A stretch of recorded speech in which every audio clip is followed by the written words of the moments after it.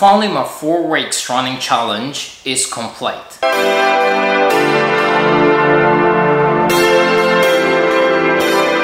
This is a video of my toughest challenge of attempting to go from 0 to 10k with only 4 weeks of training, which means I need to keep the 940 minute mile pace for a whole hour.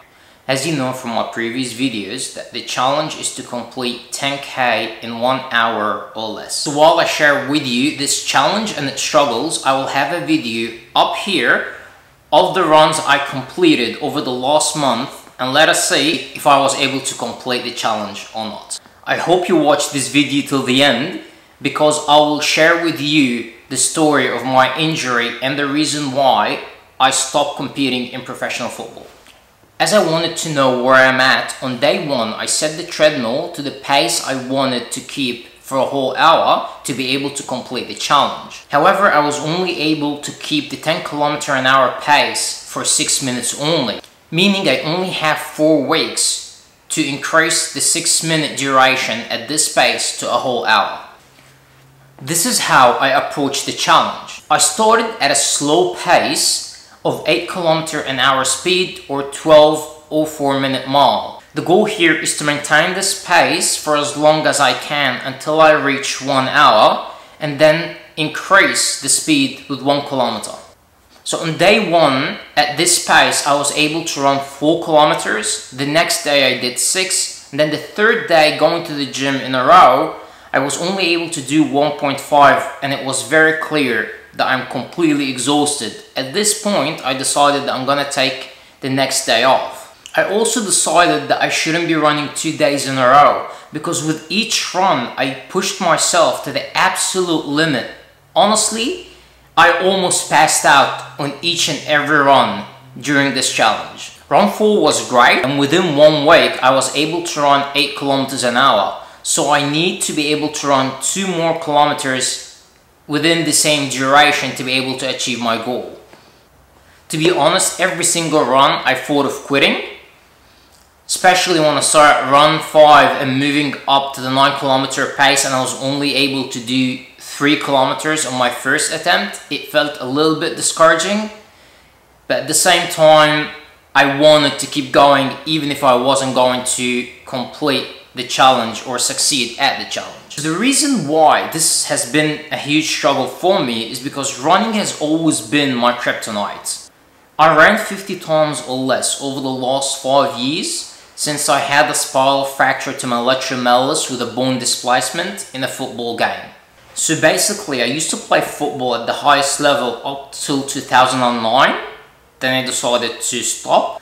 This involved a lot of running, but no long distance running that required you to maintain the same pace over a long period of time. Since 2009 and 2014, I did not run at all. In 2014, I returned back to professional football, which again required a lot of running but ended up getting injured, which I mentioned a moment ago. I probably completed a total of 50 runs since 2009 till the beginning of this challenge, of course excluding those 6 months to a year that I actually returned to pro football. Even when I returned to pro football, I was probably the weakest runner when it came to long distance Clearly I do not have a strong running background by any means, which makes this challenge a lot harder.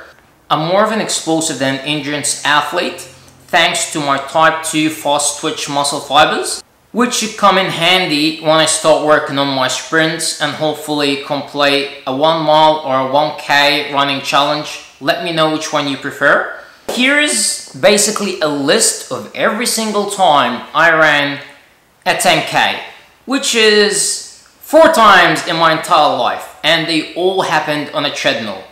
My best time was 59 minutes and 30 seconds I think, maybe 15 seconds, I'm not too sure.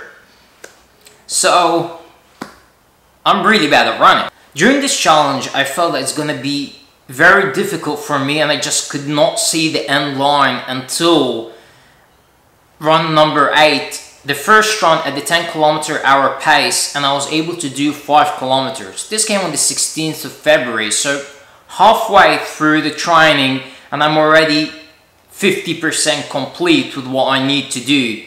And that gave me a huge boost of confidence and really change in the way I run and my mental strength during the whole challenge just took a turn to the better and I start performing way better from this point. At this point I felt very confident I will hit my target and start planning to beat my personal best of 59 minutes and 15 seconds.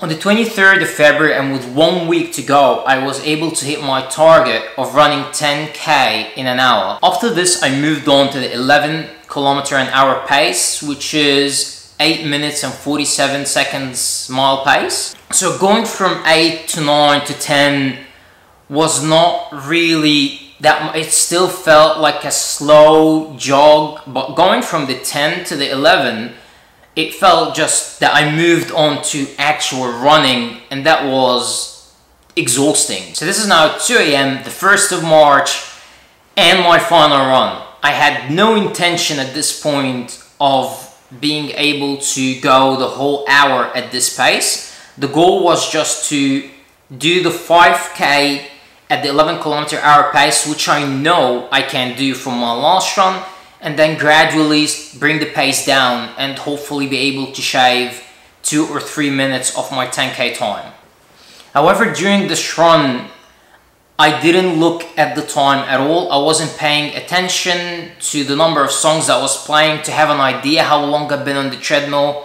And the first time I looked down, I saw that I was at the 40 minute honestly, I just couldn't waste it and I decided to just power through and, and go the entire run at the 11 kilometer pace, which I was able to do. I think that I almost killed myself doing it, but I'm really glad that I was able to complete it.